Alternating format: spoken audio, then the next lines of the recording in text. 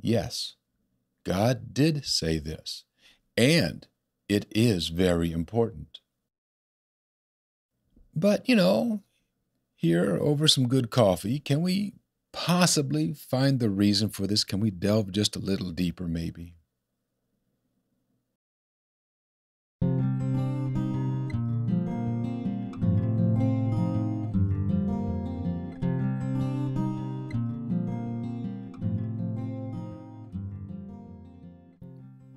Hello. Welcome to the Simple Not Shallow podcast. My name is Charles, and this is the Coffee Side Chat series, so named because of this amazing cup of coffee sitting on the counter right beside me. And we are coming to you from the very hallowed halls of my kitchen university. Ah, the kitchen counter. It's the perfect place, don't you think, to stand, talk, laugh, and learn together while sipping on a very beautiful cup of coffee. Mmm. I hope you have one available to you as we talk about things. So, let me ask you a question. Why do you think forgiving others is so important to our faith? Well, let's kick this one around while looking at it now through the lens of what it means to be a Christian and, you know, see what we come up with.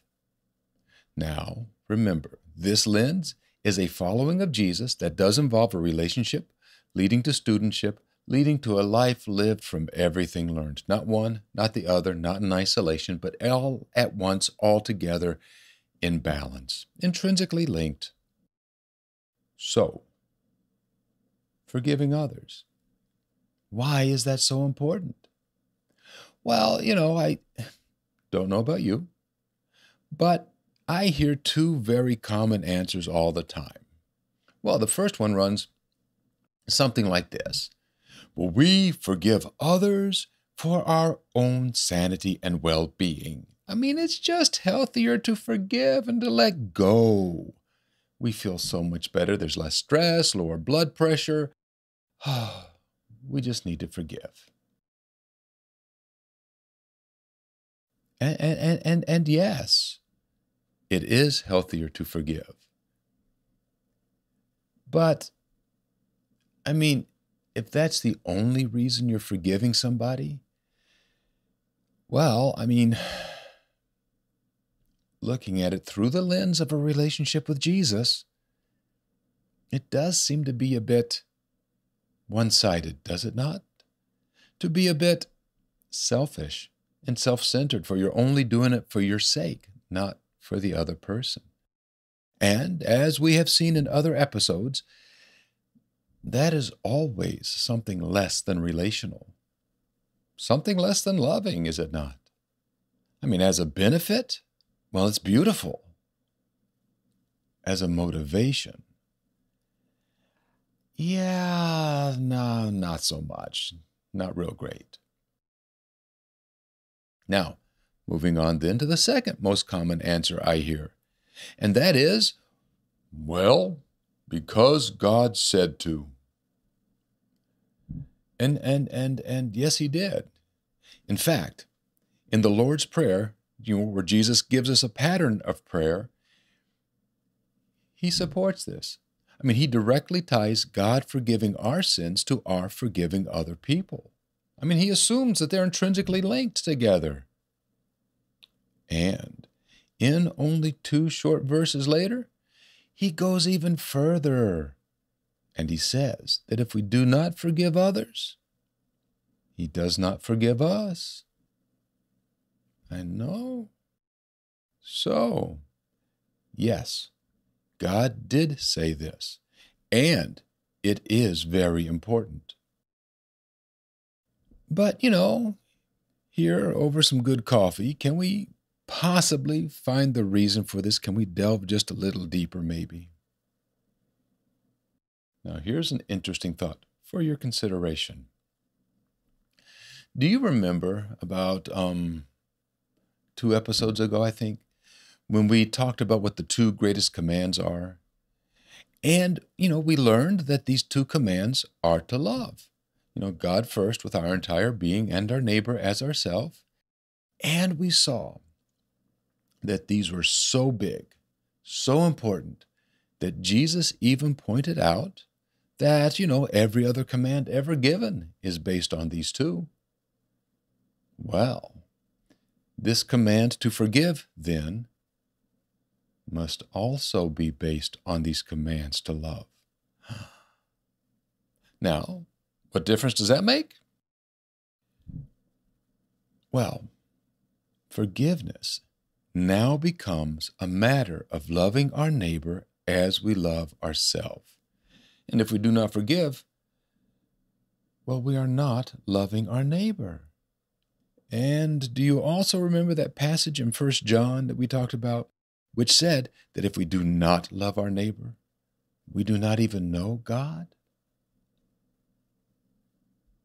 Could that be the reason that we are not forgiven if we do not forgive? Well, because choosing to not forgive is the choosing to not love. And, you know, in previous episodes, we have seen that from a Christian point of view now, choosing not to love severely interrupts our relationship with God. Well, because it involves our turning our backs to Him to pursue our own interests. And honestly, how can we experience forgiveness when our backs are turned to the very one who is offering it? Oh, and let's delve even a little deeper, shall we?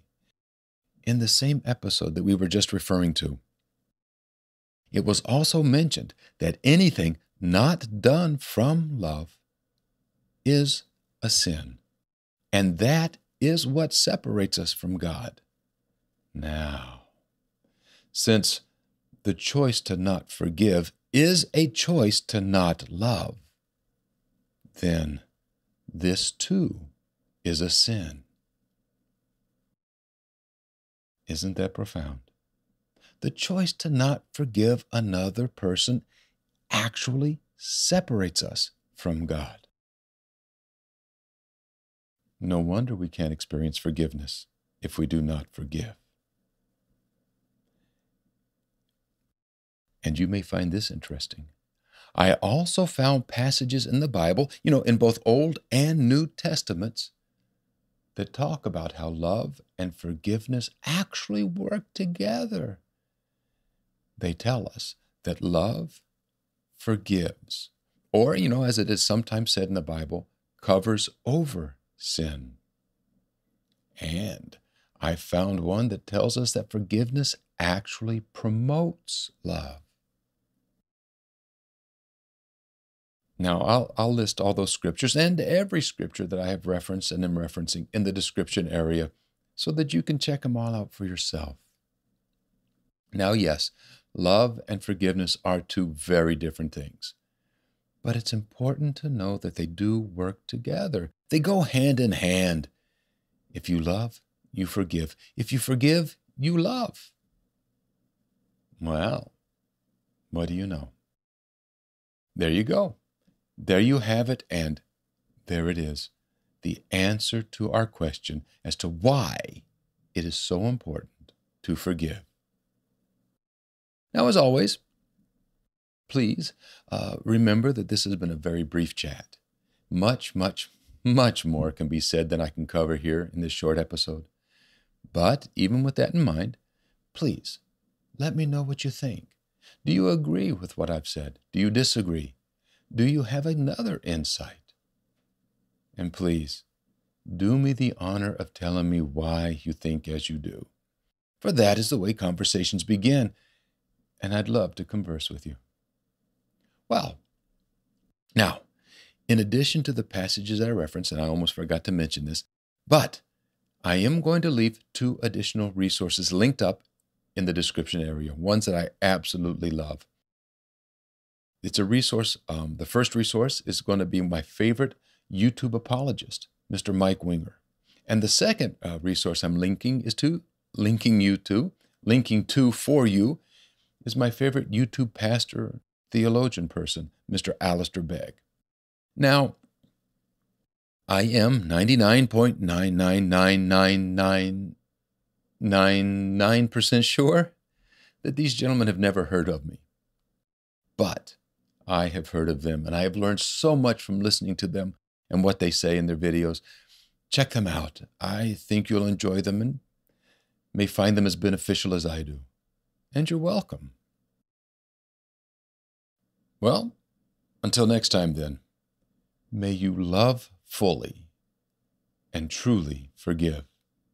And, well, may you take it easy, take it slow, and may coffee into your cup always flow.